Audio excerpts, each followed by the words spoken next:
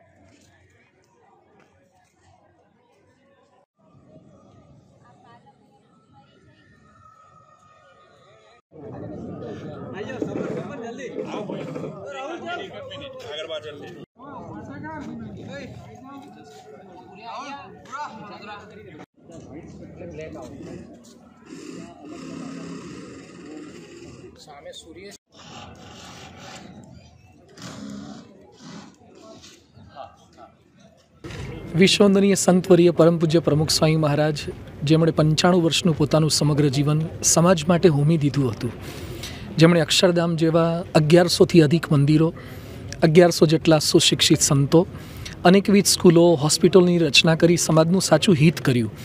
જ્યારે ભૂકંપ હોય કે સુનામી હોય, કોઈ પણ આપત્તિ હોય, પ્રમુખ સ્વામી મહારાજની આજ્ઞાથી સંતો સ્વયંસેવકો સેવામાં દોડી જતા. આવા સંતનું ઋણ ચૂકવવા માટે એમના શતાબ્દી મહોત્સવે, એમનો શતાબ્દી મહોત્સવ પાંત્રીસ દિવસનો અમદાવાદમાં એસપી રિંગ રોડ ઉપર છસો એકરની વિશાળ ભૂમિમાં આયોજિત કરવામાં આવ્યો છે. આ મહોત્સવ એક ઐતિહાસિક મહોત્સવ બની રહેશે. અલગ જ પ્રકારનું નજરાણું બની રહેશે. પ્રવેશ કરતાં જ કલાત્મક પ્રવેશ દ્વારો ભવ્ય, જ્યાં સંત દ્વાર, ભારતના એવા અતિ પવિત્ર સંતોના દર્શન સાથે જ નગરમાં પ્રવેશ દ્વાય બંને તરફથી એવા કલાત્મક પ્રવેશ દ્વારો છે. અંદર આવ્યા પછી પણ પ્રમુખ સ્વામી મહારાજની વિશાળ કદની ત્રીસ ફૂટની સ્વર્ણિમર પ્રતિમા જેમનું જીવન કાર્ય ઘોષિત થાય, લોકો દર્શન કરીને પ્રેરણા પ્રાપ્ત કરે. અનેકવિધ પ્રદર્શન ખંડો છે. જેમાં ક્યાંક પારિવારિક એકતાની પ્રેરણા મળશે, ક્યાંક વ્યસન મુક્તિની પ્રેરણા મળશે, ક્યાંક રાષ્ટ્રપ્રેમની પ્રેરણા મળશે. આઝાદી કા અમૃત મહોત્સવ ચાલી રહ્યો છે તો સાચા દેશભક્ત કેમ બની શકીએ એવી પ્રેરણા પ્રાપ્ત થશે. તો પ્રદર્શન ખંડો છે, ટેલેન્ટ શો છે. દરેક બાળકો યુવાનોમાં અનેરી ટેલેન્ટ હોય છે, તેને પ્લેટફોર્મ પૂરું પાડવામાં આવશે. બાલિકાઓ, મહિલાઓ દ્વારા પણ અનેકવિધ કાર્યક્રમો અહીંયા થશે. સાથે સાથે દિલ્હી અક્ષરધામ, જ્યાં વિશ્વના અનેક દેશના કરોડો લોકો આવી ચૂક્યા છે, એ અક્ષરધામ કદાચ કોઈ નહીં ગયું હોય તો આ મહોત્સવમાં આવીને અક્ષરધામના દર્શનની અનુભૂતિ થાય એવું જ અક્ષરધામ સુંદર અહીંયા બનાવવામાં આવ્યું છે અને અવતારોની પ્રતિમાના દર્શન લોકો કરી શકશે અને લાઇટ એન્ડ સાઉન્ડ શો. જે કદાચ કોઈએ ન માણ્યો હોય એ લાઇટ એન્ડ સાઉન્ડ શો અને જ્યોતિ ઉદ્યાન, ગ્લો ગાર્ડન, દિવસે અને રાત્રે તો એના કરતાં અનેક ગણું સારું પંચતંત્રની વાર્તાઓ હોય કે અનેક આકારો હોય, એ જ્યોતિ ઉદ્યાનમાં વણી લેવામાં આવ્યા છે. એની સ્ટોરી હશે. અને બાલનગરી મહોત્સવનું અનેરું આકર્ષણ છે કે જેમાં સાત આઠ હજાર જેટલા બાળકોને બાલ કાર્યકર્તાઓ દ્વારા જ અનેકવિધ વાર્તાઓ બાળકોને પુરુષાર્થની પ્રેરણા મળે, એકાગ્રતાની પ્રેરણા મળે સોશિયલ મીડિયાથી દૂર કેમ રહેવું, મા બાપને પગે કેમ લાગવું, વ્યસનથી દૂર કેમ રહેવું એટલે આવા અનેકવિધ આયામો છે, રોજ યજ્ઞ થશે રક્તદાન યજ્ઞ થશે. તો ખાસ આશા રાખીએ, પ્રાર્થના કરીએ. આદિવાસીથી અમેરિકાવાસી, આસામના હોય કે ગુજરાતના, દેશ વિદેશના લાખો લોકો આ મહોત્સવની અંદર આવશે. સૌ કોઈને સપરિવાર આ મહોત્સવમાં પધારી. આ મહોત્સવ એ આપણા જીવનનો મહોત્સવ છે. આપણા પરિવર્તનનો મહોત્સવ છે. ઉર્ધ્વગામી સુખી જીવન બનાવવાનો મહોત્સવ છે. તો આપ સૌ કોઈના માધ્યમથી અનેક લોકો આ મહોત્સવમાં પધારે. પ્રમુખ સ્વામી મહારાજને શ્રદ્ધાંજલિ અર્પણ કરે અને જીવનને ઉર્ધ્વગતિના પંથે દોરે એ જ પ્રાર્થના સાથે સૌ કોઈને જય સ્વામિનારાયણ.